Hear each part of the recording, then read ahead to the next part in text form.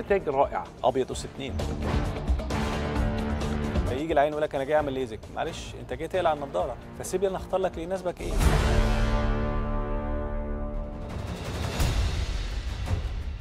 الدكتور أحمد عساف أستاذ طب وجراحة العيون طب عين شمس زميل كلية الجراحين الملكية البريطانية عضو الجمعية الأمريكية لطب وجراحة العيون عضو الجمعية الأمريكية لجراحات المياه البيضاء. عضو الجمعية الأمريكية لإصلاح عيوب الانكسار. سبع أبحاث منشورة دوليا. 17 بحث تم عرضه في المؤتمر السنوي للجمعية الأوروبية.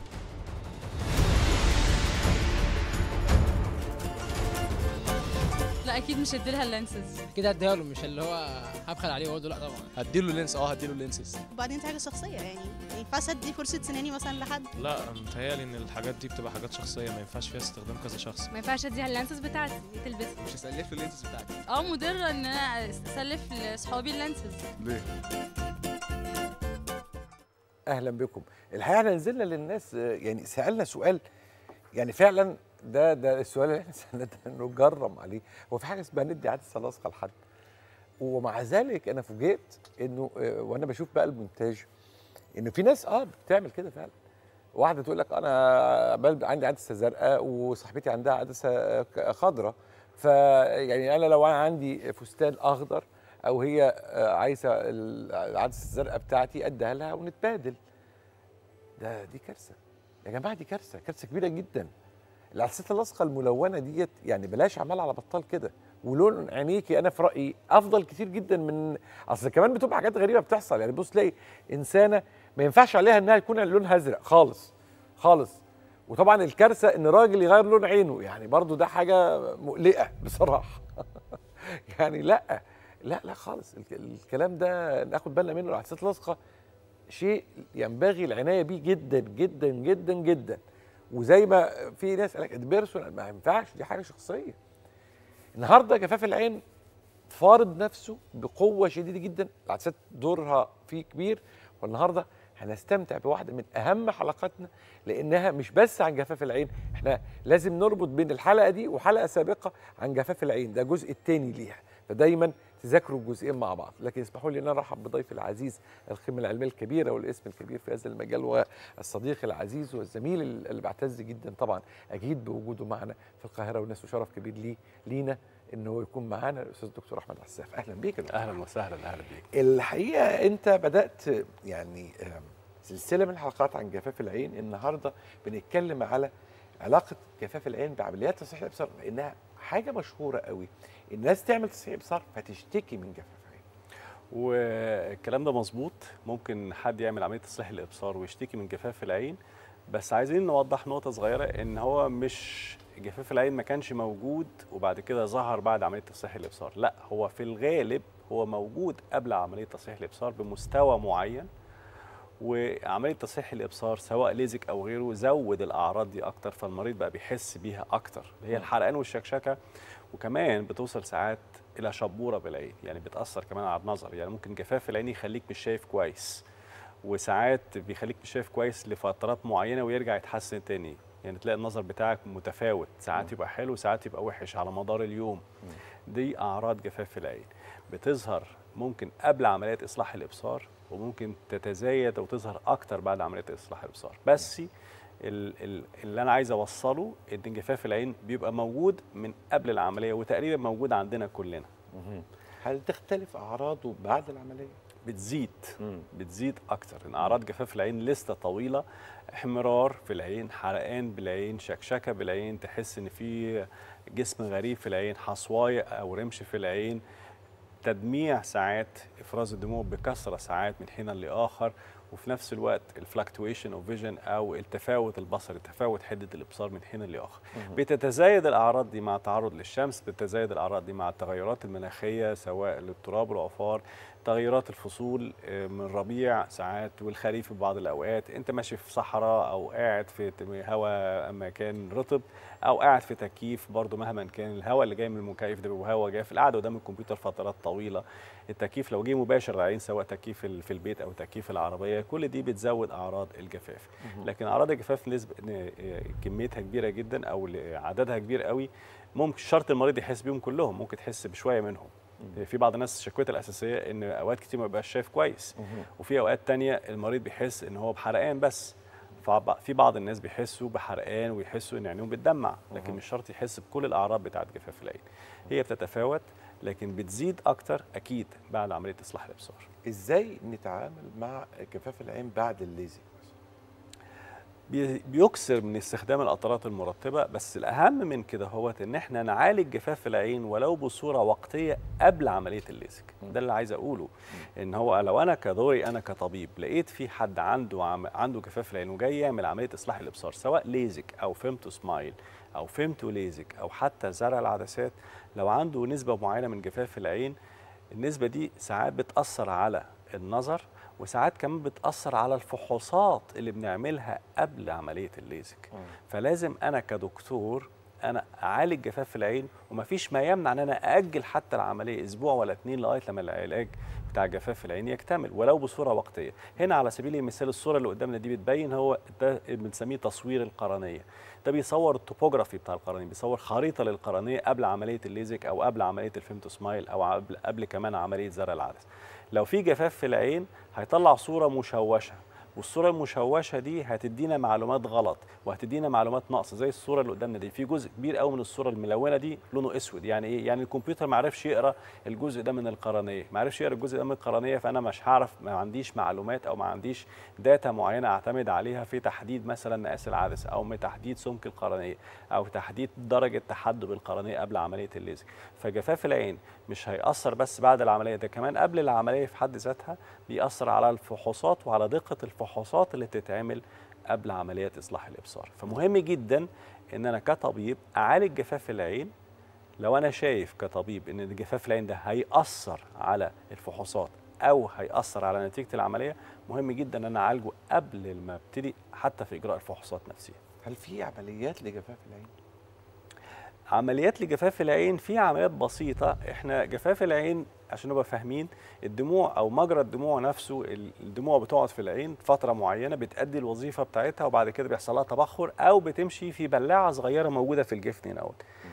آه، في قناة دمعية. قناة دمعية دي مش بتفرز الدموع. قناة دمعية دي اللي بت- بتصرف الدموع. بالبلدي كده بنسميها بلاعة الدموع. فأنت عند حضرتك هنا لو في حوض أنا بقول للست لو عندكم مثلا مية هتبقى مقطوعة أول حاجة بتعمل إيه؟ مية هتتقطع بيقول لك المية هتتقطع خلاص هنعمل إيه؟ هنجيب حاجة نسد بيها بلاعة الحوض ونحوش المية في الحوض. الحوض بتاعنا هو سطح العين والحنفية هي الغدة الدمعية اللي بتفرز الدموع. طب البلاعة بتاعتنا فين؟ عندنا قناة صغيرة بنسميها بلاعة الدموع أو القناة الدمعية. دي بنسدها. دي العملية اللي إحنا ممكن نعملها لجفاف العين نسد البلاعة دي علشان نحوش الدموع أطول فترة ممكنة على سطح العين والعملية دي بتنقسم إلى جزئين. هنا زي حضرتك في الصورة هنا شايف في في حاجة صغيرة زي راس الدبوس كده محطوطة في القناة الدمعيه في البلاعة نفسها. تبقى صغيرة قوي يعني حاجة أقل من نص يعني حوالي تلت ملي تقريبا. دي بنسد بيها القناة الدمعيه وعندنا نوعين منها. يا إما سدادات للقناة الدمعيه مستديمة دي على طول.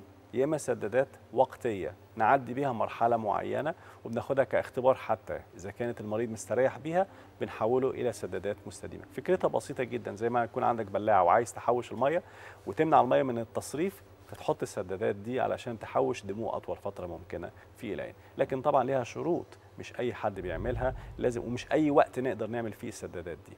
لازم نعالج الالتهابات اللي موجودة المصاحبة لجفاف العين الأول وبعد كده أسد القناه الدمعيه من كتر ما اتكلمنا على جفاف العين آه، في آه، آه، تحديد أو علاقتها بعمليات تصحيح الإبصار بعض الناس بقى يعتقد إن هو ده الشرط الوحيد أو المحرك الوحيد للاختيار في عمليات تصحيح الإبصار. أنا عندي جفاف عين فاختار كذا أو كذا. هل جفاف العين هو المحرك فعلا الوحيد لاختيار نوعية معينة من لا لا مش؟ المحرك الوحيد وكويس إن حضرتك ذكرت السؤال ده عشان في ناس كانت بتيجي قوي بتيجي يقول لك يا دكتور أنا أنا عندي جفاف العين ممكن أعمل ليزك ولا لأ؟ لا ممكن تعمل ليزك إن هو جفاف العين ليه درجات واتفق عالميا دلوقتي إنهم بيقسموه لدرجتين. في درجة مؤثرة بيسموه visually significant dry eye يعني في درجة مؤثرة على حدة الإبصار وفي درجات غير مؤثرة على حدة الإبصار. لو الدكتور شايف إن جفاف العين درجته مش هتؤثر على حدة الإبصار فممكن يتجه ويكمل في الفحوصات ويعمل عملية الليزك أو غيره مش شرط ليزك تحديدا يعني لو الدكتور الطبيب شايف إن درجة جفاف العين هتؤثر على حدة الإبصار أو هي مؤثرة فعلا على حدة الإبصار بتاعة المريض وبالتبعية هتأثر على الفحوصات اللي هيعملها قبل عملية إصلاح الإبصار فبالتالي الدكتور هنا بيأجل العملية أسبوعين أو ثلاثة وساعات أربع أسابيع وبياخد المريض علاج مكثف لجفاف العين ويعيد إجراء الفحوصات تاني وبعد كده يتجه يعمل العملية على طول. ده ال- الالجوريثم أو الاتفاق العالمي دلوقتي على موضوع جفاف العين وعلاقتها بعملية إصلاح الإبصار، فإحنا ممكن إن إحنا نعمل الكلام ده بشرط إنه مش كل درجات جفاف العين هتؤثر على على العملية، في بعض الناس عندهم جفاف العين ونعمل لهم العملية برضه. في كتير من الناس بعد عملية الليزر بيفقدوا اتصالهم بالدكتور. خلاص إحنا عينينا كويسة بنشوف كويس. ما بنعملش حاجة تحمينا من الجفاف أو تعليمات معينة نعملها لغاية لما حتى العين ترجع لحالتها. لا إحنا دايما بندي بننصح المريض بنصائح معينة بعد العملية. لازم يكسر من القطرات المرطبة. لو شايف حاجة مش مظبوطة أو إن النظر بتاعه بيتغير بحدة بعد العملية يراجع الطبيب بتاعه. آه، ما يقعدش قدام الكمبيوتر فترات طويلة. ودي نصائح عامة بنديها لكل شخص. مش شرط يكون عامل عملية. أي حد يعني آه، بيجي لنا العيادة بيكشف آه، لأي سبب ما بنقول والله أنت بتقعد على الكمبيوتر فترات طويلة عندك واحد اتنين تلاتة. حاول تعمل الكلام ده عشان تحافظ على طبقه الدموع فترة أطول. لكن لو ال- ال- المريض شايف إن في عنده مشاكل بعد كده هو غير طبيعية أو أكتر من التعليمات اللي إحنا مدينها له شايف إن في حاجة مش مظبوطة أو اتبع التعليمات وليه إن في برضه مش جايبة نتيجة فلازم يرجع للطبيب طبعا على طول ويشوف إيه الخطوة اللي جاية اللي ممكن يعملها. ساعات بنعمل سدادات للقناة الدمعية بعد عملية الليزك علشان نعالج جفاف العين الوقتي. هو جفاف العين اللي بيزيد بعد الليزك بيبقى وقتيا بيستمر حوالي شهرين لست شهور. هنا ممكن المريض لو مش مستريح بالتعليمات والقطرات المرطبة ممكن نحط له السدادات بتاعت القناة الدمعيه لكن أنا عايز اكد إن جفاف العين هي مش مشكلة كبيرة قوي بس مشكلة سخيفة قوي. المريض هيشتكي إن في التهابات متكررة في العين لكن مش هتأثر معاه في حاجة كتير لكن هو هت هتضايقه. مش هيبقى مستريح مش هيعيش بصورة طبيعية. في ناس آه، يعني دلوقتي هتسألنا سؤال الليزك أو ال femto LASIK أو ال femto SMILE أو التصحيح السطحي كل واحد بيعمل آه، ممكن يعمل جفاف عين بس هل يختلف ال mechanism الطريقة الأسلوب؟ أكيد أكيد. حضرتك كويس إن حضرتك سألت السؤال ده ان هي طبقة ال- الدموع مرتبطة ارتباط وثيق بطبقة الأعصاب اللي موجودة في سطح القرنية. طبقة الأعصاب دي في وقت ال femto LASIK أو الليزر السطحي أو ال femto SMILE بتتقطع بالليزر. فطبقة الأعصاب دي بتاخد لها وقت عبال ما ترجع تاني تشتغل تاني. الأعصاب دي لو مش موجودة الألياف العصبية دي لو مش موجودة في سطح القرنية إفراز الدموع بيقل جامد قوي وده اللي بيزود جفاف العين بعد العملية. فعلشان بنستنى حوالي شهرين لست شهور عبال ما الأعصاب دي تلتئم تاني ويرجع إفراز الدموع لمعدله الطبيعي تاني. لازم يبقى سطح العين لامع بهذا الشكل كده سواء قبل العملية أو سواء بعد العملية علشان الدموع دي مهمة جدا للغذاء بتاع القرنية ومهمة جدا للنظر كمان. علشان دي المراية اللي بشوف بيها كمان آه، سطح آه، العالم الخارجي. فبالتالي هنا هوت في عمليات الليزك الطبقة دي. طبقة ال- الألياف العصبية بتتقطع مع عمليات الليزك وبتتقطع مع الليزر السطحي وكمان بتتأثر في ال femto SMILE. عشان عكس الكلام اللي بيتقال إن ال femto SMILE ما بيعملش جفاف في العين لا بيعمل جفاف في العين بس يمكن بدرجة أقل شوية صغيرين. ولازم برضو ليه شروط معينة. لازم إن أنا المريض لو عنده درجة معينة من جفاف في العين وهيعمل femto SMILE لازم أعالج جفاف في العين الأول قبل ما أدخله يعمل femto SMILE لأن ال femto SMILE بيعمل برضو جفاف في العين. بس يمكن بدرجة أقل شوية صغيرين. فهنا هوت آه، لو هنرتبهم آه، كالعمليات إصلاح الإبصار ومدى تأثيرها السلبي على جفاف العين أكتر حاجة ال femto LASIK مع اللي- الليزك وال femto LASIK الليزر السطحي يليه ال femto SMILE أقل حاجة بتعمل جفاف في العين هي عمليات زرع العدسات. زرع العدسات يعني آه يعني متوقع أقل حاجة إن إحنا أقل. بنبعد عن القرنية خالص إحنا بندخل عدسة جوه العين فبنبعد عن القرنية خالص. بنعمل فتحة صغيرة قوي بس في القرنية حوالي 2 مللي. دي ما بتعملش جفاف في العين بصورة زي ما بيعمل ال femto LASIK أو ال femto SMILE. سؤالي له وجهين يعني بعد ما عملنا الليزك وحصل جفاف في العين هل لابد من علاج جفاف العين؟ أو بشكل آخر السؤال هل يضر جفاف العين العملية نفسها؟ ممكن يقلل التئام العملية. ان إحنا جفاف العين آه، اللي بيتبعه إن مفيش دم- دموع كفاية. مفيش دموع كفاية يعني مفيش غذاء كفاية للقرنية وبالتالي الالتئام هيكون أبطأ. مفيش مضادات حيوية في الدموع وبالتالي العين بتبقى عرضة أكتر أو القرنية بتبقى عرضة أكتر للالتهابات الميكروبية وهتأخر أكيد الالتئام بعد العملية وفي نفس الوقت ممكن تعمل مشاكل بعد العملية. فبالتالي الجفاف مهم جدا هو يتعالج كويس قوي إن هو ممكن يأثر فعلا على نتيجة العملية. ودايما عندنا مقولة بتقول إن جفاف العين لازم المريض يعالج الجفاف ال- أو الدكتور أنا آسف الدكتور يعالج جفاف العين قبل العملية للمريض لأن هي لما تكون في جفاف في العين قبل العملية فهي دي مشكلة المريض. لما يحصل جفاف في العين بعد العملية فدي بقت مشكلة الدكتور. فأنا لما أجي أقعد معاك مثلا وأقول لك والله أنت عندك جفاف في العين وإحنا لازم نعالج الجفاف قبل ما نعمل العملية فهي ستيل هي مشكلتك أنت. لو أنا ما قلتش الكلام ده خالص وتجاوزت المعايير العالمية وعملت العملية استعجلت وعملت العملية وأنا عارف إن أنت عندك جفاف في العين والأعراض دي بعد كده زادت أنت هتيجي تلومني أنا. بقت مشكلتي أنا كدكتور وأنت مش ملام في الموضوع ده خالص. فانا لازم أعالج جفاف في العين لأن قبل العملية ده مشكلة المريض بعد العملية بقت مشكلة الدكتور. السؤال القادم مهم بقى. يعني برضه المريض محتاج يعرف. أنا عندي آه، عملية تصحيح إبصار في الكتالوج أو ال options قدامي. ماذا تنصح إنه يعني يا ريت نبعد عنها شوية في حالة وجود جفاف عنيف من العمليات؟ نبعد عن عمليات معينة؟ آه يعني عملية. هل التصحيح السطحي؟ آه نبعد عنه؟ هل ال femto SMILE لا هو ال- الاكتر حاجة لو هي يعني جفاف العين شديد قوي وأنا عايز أعمل عملية إصلاح الإبصار أنا ممكن ما أعملش femto LASIK مم. ممكن ما أعملش femto LASIK في هذه الحالة. ممكن أعمل femto SMILE. أو أعمل زرع عدسة. يعني ممكن يكون مثلا إحنا بنعمل زرع عدسة عادة في المقاييس العالية.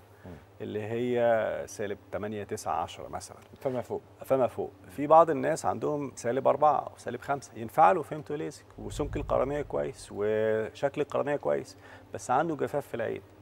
وأنا عارف إن جفاف العين درجته ممكن تؤثر على النظر وممكن تؤثر على نتيجة العملية وهتضايق المريض بعد العملية.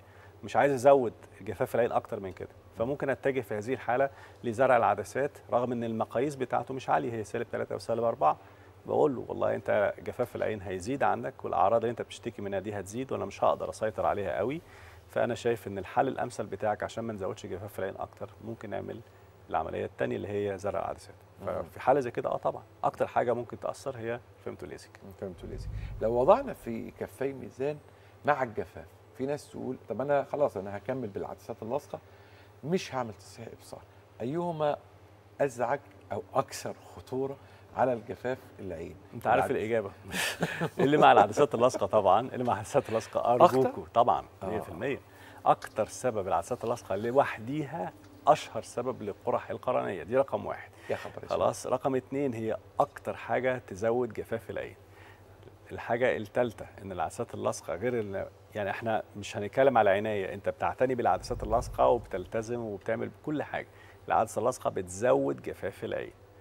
وبالتالي فهي خطورتها مزدوجة خطورتها إن هي بتزود جفاف العين تخلي العين أكثر عرضة للالتهابات في نفس الوقت العدسه اللاصقه مهما كانت إيديك نظيفة وأنت بتلبسها هي برضه عرضة إن هي تنقلك ميكروبات على سطح القرنية.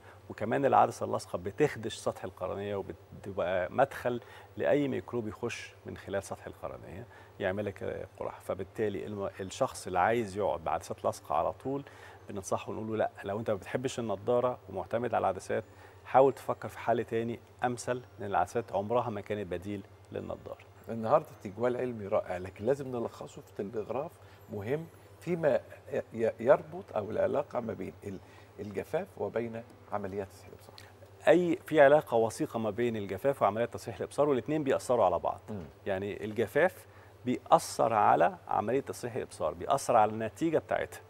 من ناحية إن بيديني فحوصات مش مظبوطة الفحوصات اللي بتتعمل قبل عملية تصحيح الإبصار في وجود جفاف العين هتبقى غير دقيقة والأرقام اللي بناخدها من خريطة القرنية هتبقى غير دقيقة وبالتالي هتأثر على نتيجة العملية بعد كده. وعمليات إصلاح الإبصار في حد ذاتها بتزود الجفاف العين بعد العملية. فالاثنين بيزودوا بعض الاثنين بيأثروا على بعض. فلازم نكسر الحلقة المفرغة اللي ما بينهم. الدكتور لازم إن هو يعالج جفاف العين كويس قوي قبل ما يعمل عملية إصلاح الإبصار. ويتابع المريض كويس قوي. وهنا وهنا مهم جدا إن المريض يبقى فاهم إن أعراض جفاف العين هتزيد بعد العملية عشان يبقى متقبل كل الأعراض دي ويعرف إن هي حاجة طبيعية ومفيش مشكلة في العملية نفسها وهتتلاشى تدريجيا بعد شهرين أو ست شهور من العملية.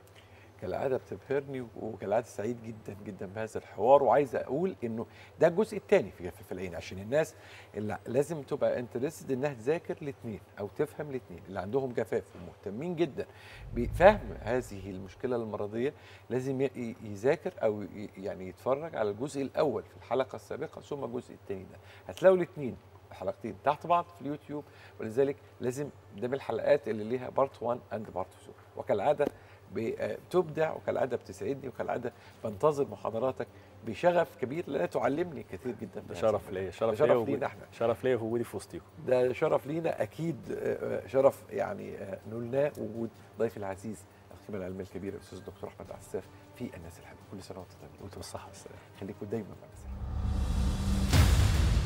حالة تأخر حمل؟ اعمل فحوصاتك كلها الأساسية الأربعة عشان تتأكد إن المبادئ الأساسية للزوج والزوجة الاثنين الأربعة ثلاثة منهم يخص الزوجة والرابع يخص الزوج الأربعة سلام. واحدة قدامي زي الفل شخص سليم ما عندهاش أي وجع خالص لا أثناء دورة ولا أثناء علاقة زوجية ولا أثناء ولا أثناء ولا أي حاجة خالص. خالص. مفيش أي نوع من أنواع الوجع ولا أي صورة من صور الوجع. بس عندها تأخر حمل ممكن يكون